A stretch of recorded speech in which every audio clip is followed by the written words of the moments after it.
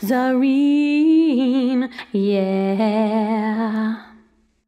One happy birthday dot com.